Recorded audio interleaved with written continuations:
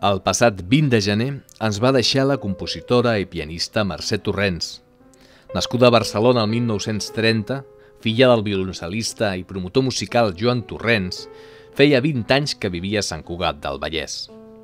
Aquestes imatges pertanyen a l'homenatge que va rebre la compositora la primavera del 2016 de la mà d'Òmnium Cultural Sant Cugat, Amics de la UNESCO i l'Aula d'Extensió Universitària per la Gent Gran, amb la col·laboració de l'Ajuntament de la ciutat. Molt agraïda estic a totes les entitats que han col·laborat, a tothom, oi, m'emociono i tot, només de pensar-ho, perquè no m'ho hagués imaginat mai, això. Mai, ha sigut una sorpresa tan gran. Des de molt jove, Mercè Torrents es va dedicar a la composició, després de cursar brillantment la carrera de piano al Conservatori de Música del Liceu, amb el mestre Pere Vallribera. Fou membre de l'Associació Catalana de Compositors des del 1988.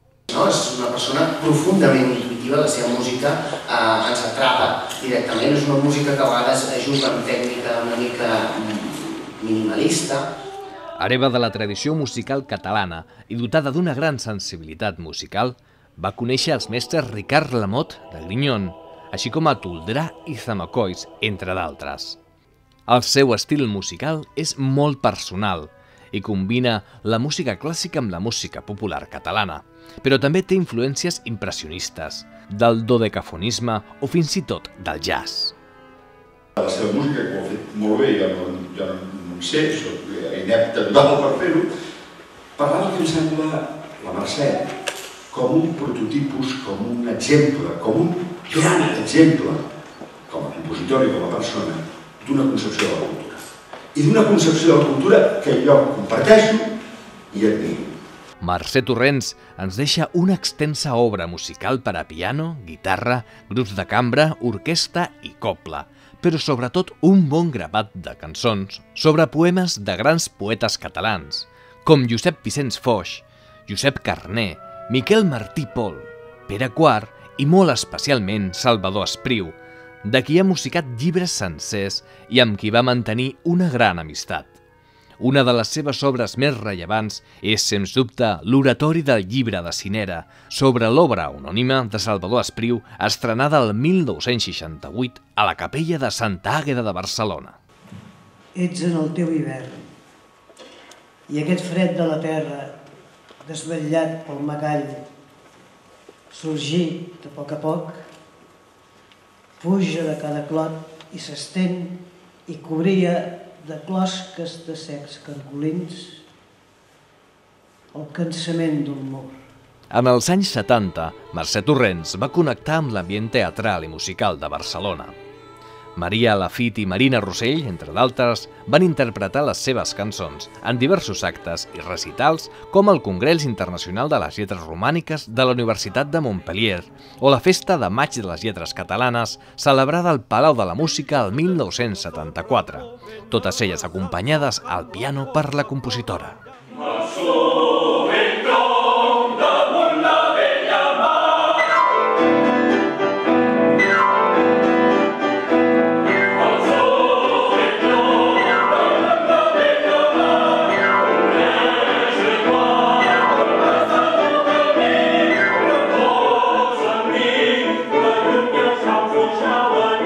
En l'àmbit de la música clàssica i contemporània, les seves cançons han estat interpretades per destacades sopranos, com Francesca Callao, Maria dels Àngels Sarroca, Maria dels Àngels Miró i Maria Teresa Garrigosa, o per mezzosopranos, com Anna Ricci i Marta Valero. Al desembre del 2015, Mercè Torrents va visitar el plató de la contraportada, acompanyada per la seva filla, per a presentar-nos dos nous discos de música pròpia. L'Espriu el vaig descobrir una nit que vaig anar a sentir Ronda de Mora Cinera al Teatre Romea, a Barcelona. Tota l'estona jo estava aplaudint, se'm van quedar les mans vermelles de tant aplaudir i li deia a meu home, això és Catalunya, això és Catalunya. Bueno, calma, tranquil·la, em deia, tranquil·la. Ja, I jo no podia. I al final sento un poema he mirat aquesta terra, he mirat aquesta terra, dit per la Carme Sansa. Dic, això és una cançó. calma't, calma't, et deia.